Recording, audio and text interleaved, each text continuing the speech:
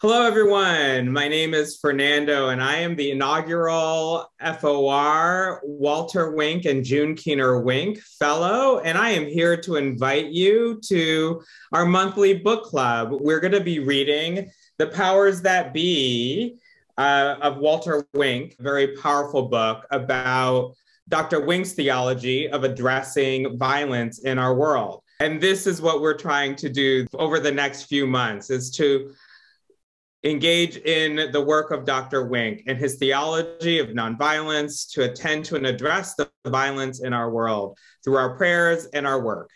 And I am inviting you to please join us uh, every last Thursday of the month from January to May at seven o'clock US Eastern Time, where we're going to be discussing um, chapters of uh, Dr. Wink's book over the course of the next few months.